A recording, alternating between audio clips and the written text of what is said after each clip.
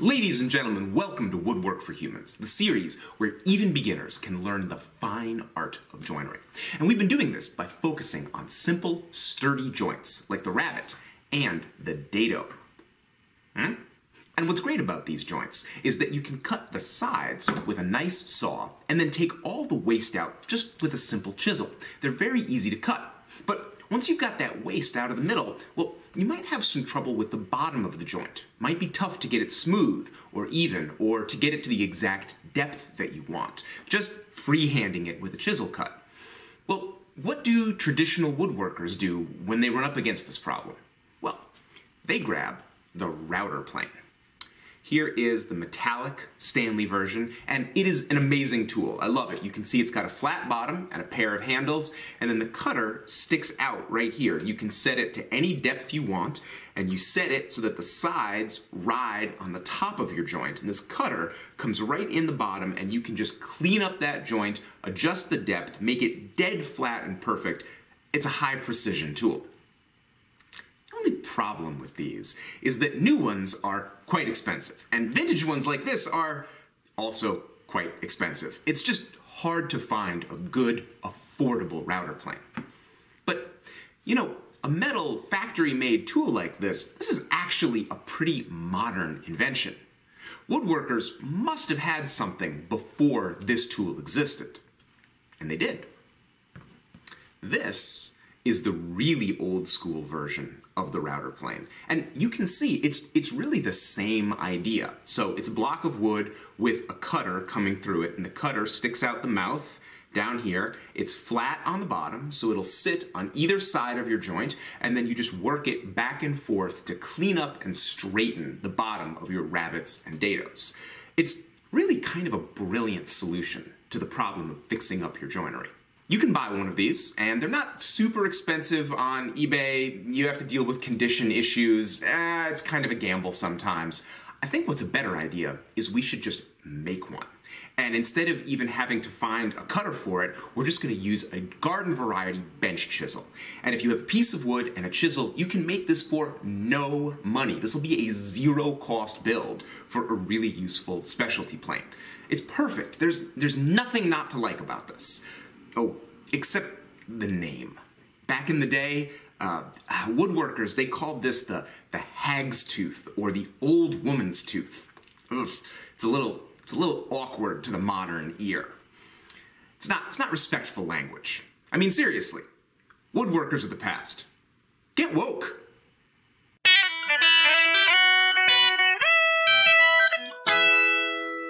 So Here's the vintage tool, and you can tell there is nothing complicated going on here. This is a single block of wood with a cutter and a wedge. It goes through a mortise in the body, and the cutter comes out the mouth down here. Now, the only complicated part is the mortise right in here. Hold on a second.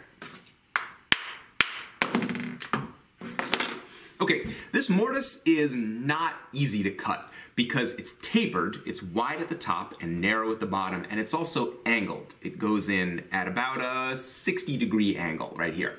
That makes it kind of tricky, especially if you're a beginning woodworker, and that turns a simple tool into a challenging build. But don't worry, I have come up with a foolproof method that will let even a total beginner get this mortise right on the first try, even if you've never cut one before. But first, let's prep our stock. I'm using a piece of rough cherry for this build, mostly because I had it and it's big enough. This project requires a lot of layout, and you need a straight and square block to begin with. This piece was really uneven, and I probably spent at least a half hour planing, checking, and marking clean faces and true 90 degree edges. If you already have a square block of wood, or if you can glue up some boards into a block, that will definitely save you a lot of time. To do my layout, I'm going to copy all the angles and dimensions directly off the original. I've covered half of the tool in blue painter's tape. This is going to allow me to draw measurements and layout lines right on the tool, and then just peel them off later without hurting anything. To transfer my measurements onto my stock, I'm going to use this little Kreg measuring jig. This thing looks cheap, but I honestly use it all the time, and it's a good alternative to a more expensive combination square. I'll put a link to it down in the description. Now, I'm really taking my time marking out my mortise and my bed angles. These are the only really critical dimensions. If you want to know more about the specifics, you can grab the full set of plans or check out the free tip sheet, and I've got links to both of those down in the description. To get the width of the mortise, I suggest using the actual chisel that's going to be your blade. I'm using a half inch 13 millimeter chisel, and I'm adding about a 16th of an inch to either side so I have some room for lateral adjustment. Now, if we were gonna cut this mortise the traditional way, we would just grab a chisel and start chopping. If you are an advanced enough woodworker and you feel comfortable doing that, go for it. But if you're more of a beginner, I've got a foolproof method that's still gonna give you excellent results.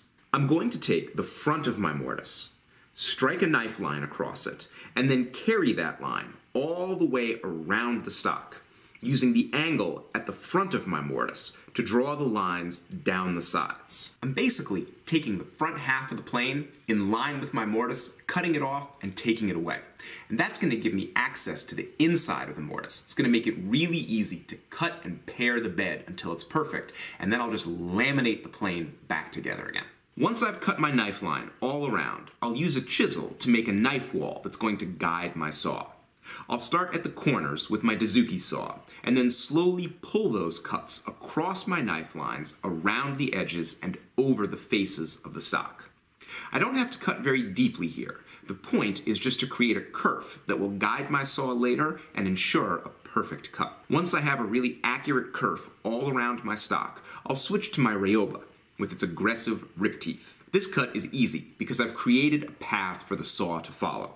It took a minute to set up, but now it's almost impossible for my cut to drift off course, and it only takes a minute for me to slice my whole block cleanly in half. The faces of my cut need a little cleanup, and you can plane those, or just put a piece of sandpaper on your bench and sand them flat.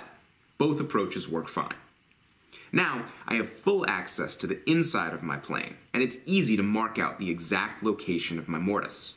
Instead of chiseling the whole thing out slowly, I can quickly cut accurate sides with my Dozuki saw and then chisel out the waste. You can see here that I also sawed another kerf right down the middle of the waste, and that's making it extra easy to clean out the bulk of the material.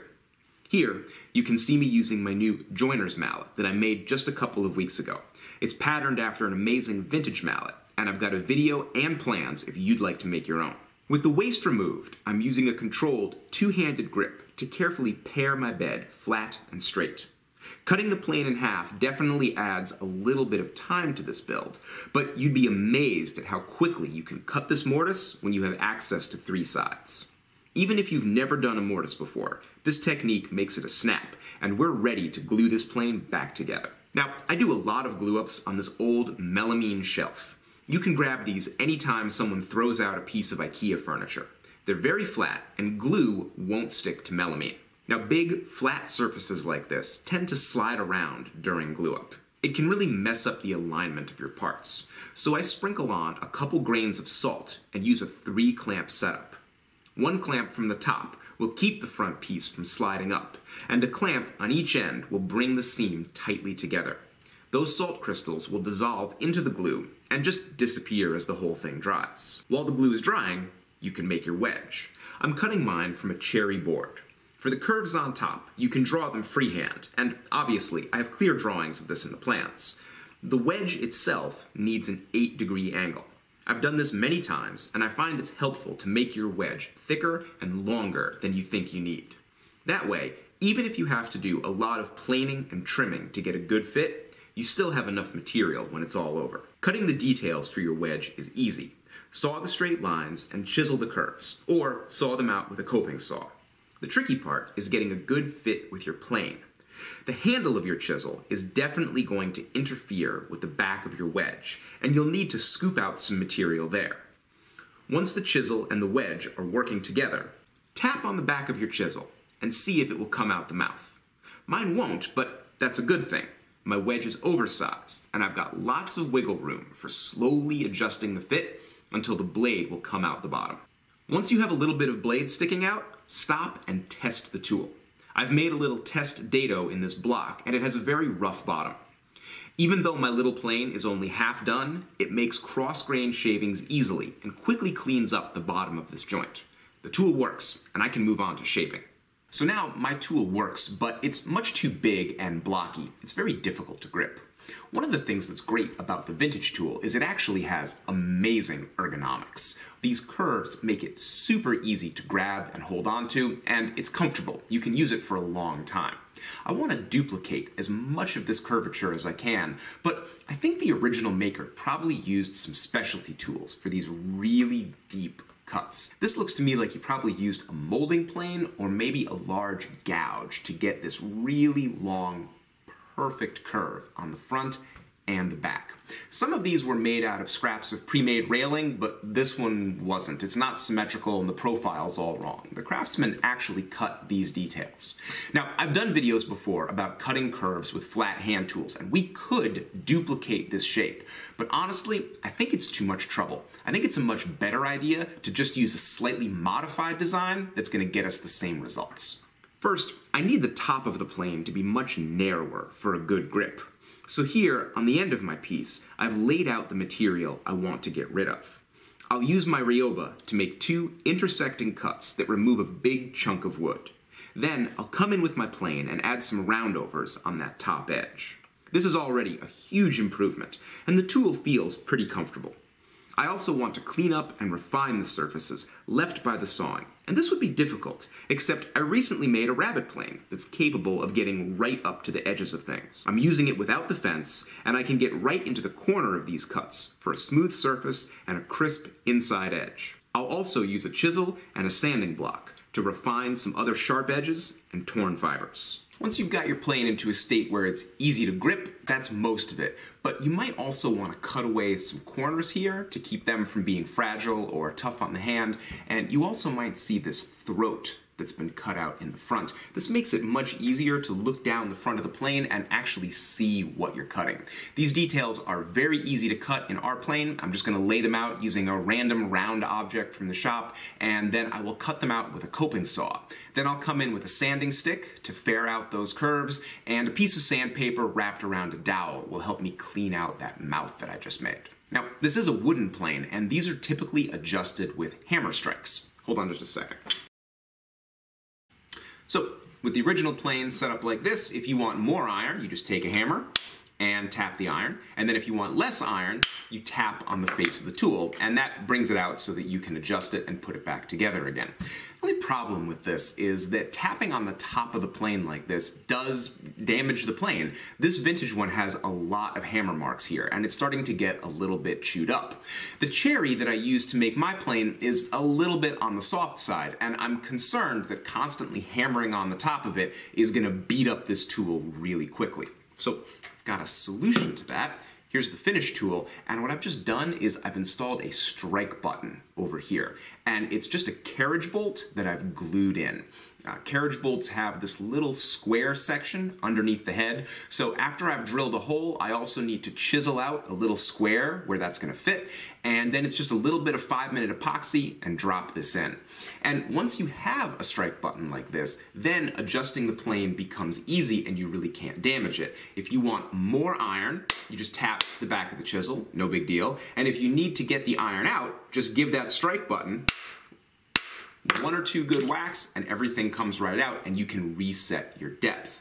Once you have a strike button, you can really hit the plane as often as you want, as hard as you want, with a metal hammer and you're not going to damage it. It's a detail that you see on a lot of vintage planes because it makes them last longer and that's great for everybody. With the construction complete, I sanded the whole thing with 220 grit and I'm going to apply boiled linseed oil and paste wax to the body of the plane. But I'm going to leave the inside mortise totally bare and not put any wax on the wedge. These parts rely on friction to work, and adding a lubricant like wax will only hurt the plane's performance. A little bit of oil on the outside of the wedge won't be a problem once it soaks in. Now that the plane is finished, let's learn how to set it accurately. I've made another test dado. If I just want to smooth out the bottom, it's easy enough to tap the iron until you can feel it just taking a light cut. Then you can work your way most of the way in from one side, cleaning and leveling the bottom as you go.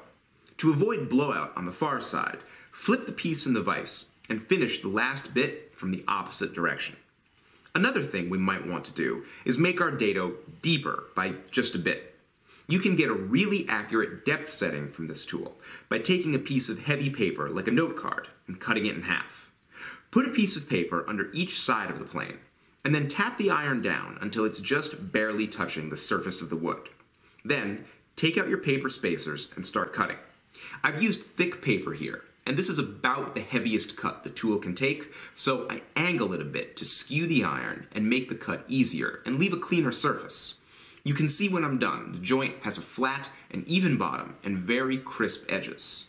I can slide in a shelf or another component, and this joint is going to work perfectly. So here's the finished plane, and you can see it looks a lot like the original, they're really similar. I made mine a tiny bit longer because I have big hands and this way I can get all of my fingers on it. That's a little bit more comfortable for me. Um, this was literally a zero cost build for me. I already had the chisel sitting around and then just a block of cherry and now I have a tool that's really almost as good as the modern metal tool for no money. Uh, if you'd like to make a tool like this, I have a great set of plans available at rexkrueger.com slash store. They are always very affordable. Of course, my patrons never have to worry about how affordable plans are because they get all of my plans for free. They also get early access to videos, I write blog posts, do tool reviews, talk about books, I make exclusive content for them. I do a lot of things for my patrons because my patrons make this all possible. And I can't thank them enough. If you'd like to be part of the amazing community of craftspeople that's happening right here on this channel, go on over to patreon.com slash rexkrueger and check out the rewards I have for the people who make this all happen. And I always want to end my videos by thanking my viewers. I wouldn't be here at all if people didn't watch these videos and like them and comment on them and come to the premieres and have a conversation with me. I love what I do. And you guys watching right now, you're the ones who make it possible. Thanks for watching.